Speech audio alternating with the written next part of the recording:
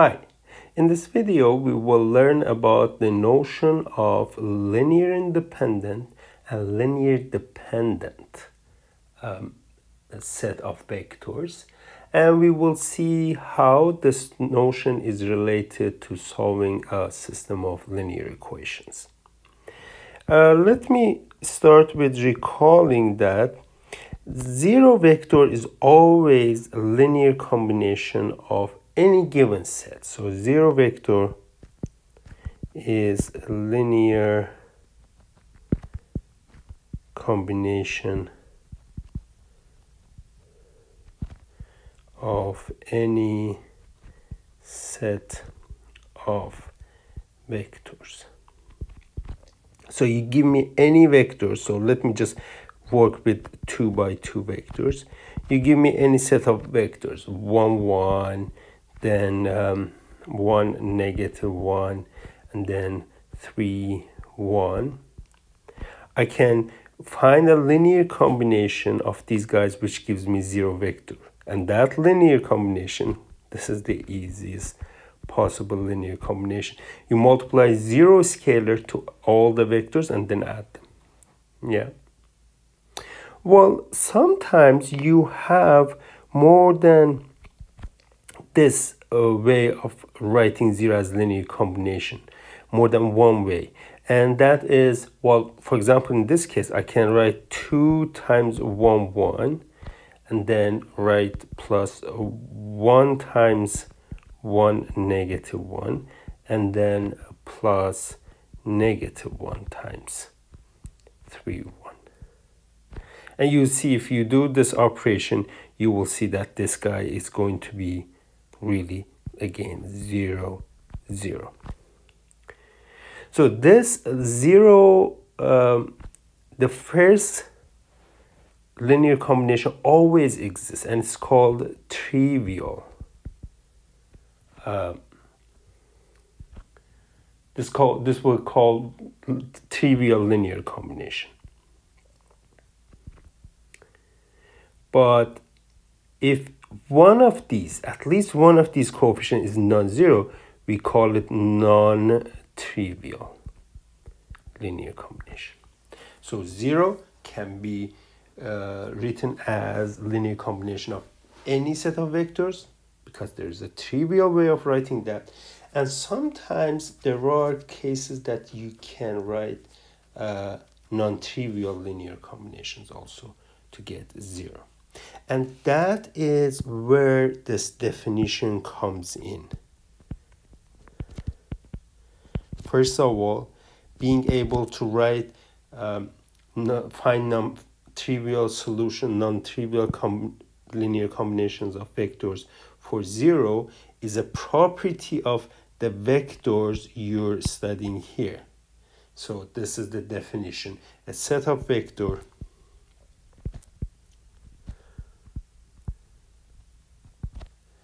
like v1 up to vk are called or is linearly dependent if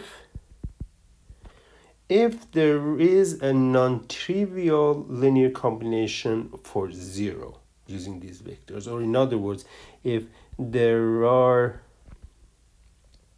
scalars c1 up to ck um, at least one of which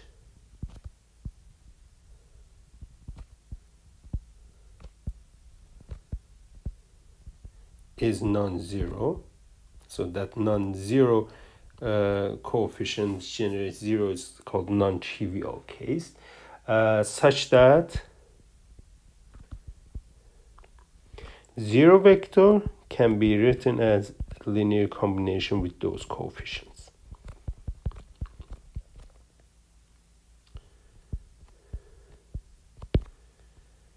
And if there are no other no linear combination other than the trivial one then we call the set linearly independent. Otherwise um, v1 up to vk are linearly independent. So linearly independent means that the only way we can write zero as linear combination of these guys is the trivial linear combination.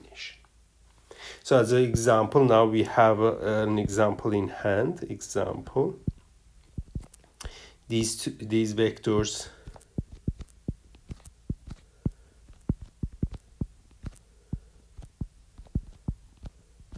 are linearly dependent. Why? Because we found a non-trivial linear combination of these guys, which give us zero vector. Okay. How about, well, a little bit more. Let's check something example. Um, determine if the set of vectors 1, 1 and 2, 1 is linearly independent or not. So are, are these two vectors linearly independent or, or not? Okay, so what we are looking for. So we are trying to see if there is a way other than the trivial way to write zero vector as linear combinations of these two vectors. In other words, is there a way or what are the possibilities for x and y such that this equality is true? So what are x and y's? Well, it means that solve this thing, yes. So solving this um, will be 1, 1, 2, 1, 0, 0. So we are trying to see if this system has a solution or not, if it is consistent or not.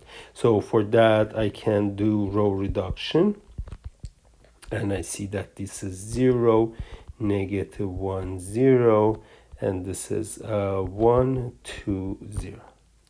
This is row row reduction uh, row row uh, echelon form and you see that um, well first of all this is consistent um, well trivial is a solution. Trivial solution is there.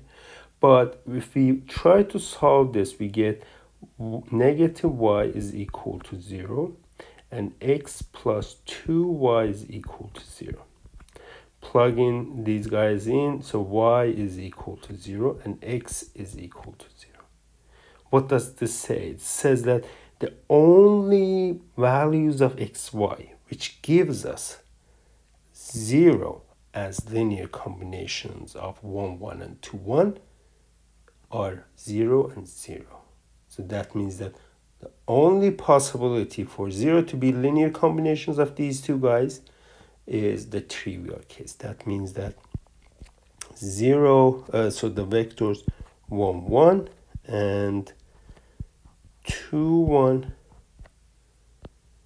are, are linearly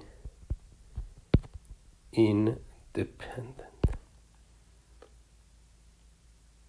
And as you saw in the above example, this can be translated in, in the terms of the matrices or a system of linear equations theorem. Vectors v1, v2 up to vk are linearly independent. If and only if the homogeneous linear system what linear system? So you put V1 in the first column, V2 in the second column, up to Vk in the third, the kth column, and on the right hand side 0, 0. So this is a homogeneous system. If this guy has only trivial solution,